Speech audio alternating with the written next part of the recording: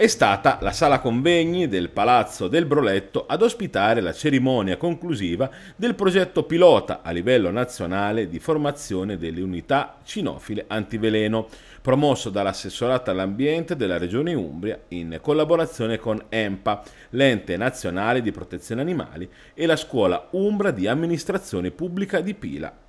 L'evento è stato moderato dal dottor Massimo Floris, direttore della clinica euroveterinaria e coordinatore delle attività formative. Presenti, tra gli altri, l'assessore regionale all'ambiente Roberto Morroni, Francesco Groam, dirigente del Servizio Foreste e Sistemi Naturalistici della Regione Umbria, Paola Tintori, tesoriere nazionale di EMPA e Salvatore Macri, dirigente del Dipartimento Prevenzione della Regione Umbria.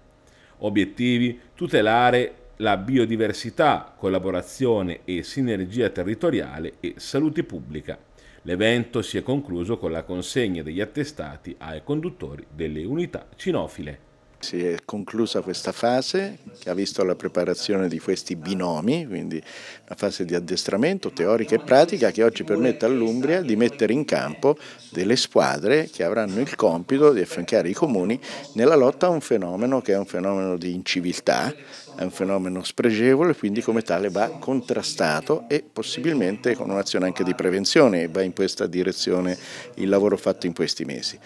è quello dei bocconi avvelenati, bocconi avvelenati che vengono lasciati nel territorio e che determinano gravissimi danni,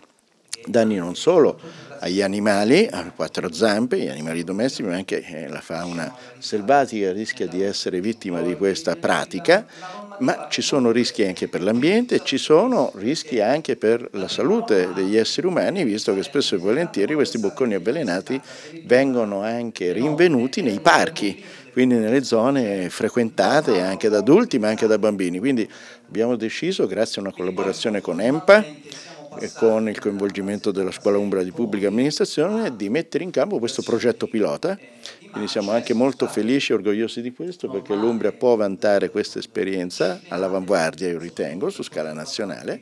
e, e mi auguro che l'azione pratica di queste squadre